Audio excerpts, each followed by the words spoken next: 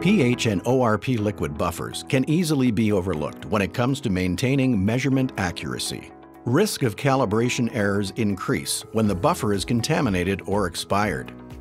Contamination occurs from excessive exposure to air, as well as reuse of the buffer.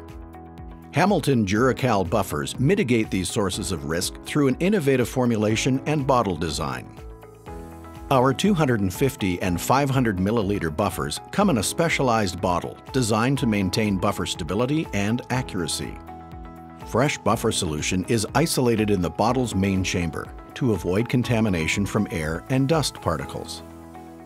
Squeezing the sides of the bottle fills a separate calibration chamber on the top of the bottle with approximately 20 milliliters of buffer. A one-way valve prevents any buffer from flowing back to the main compartment, further avoiding cross-contamination. The calibration chamber may be used to perform the actual sensor calibration or measure out buffer for a separate beaker. You get a consistent amount of buffer each time with no wasted liquid. Once the calibration is complete, the used buffer can be disposed of. This dual compartment design avoids contamination by preventing used buffer from being poured back into the bottle.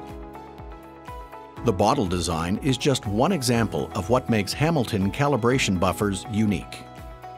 With accuracy of 0.01% and shelf stability up to 5 years, Hamilton buffers add peace of mind to pH and ORP calibration. Choose Hamilton and get the measure of excellence.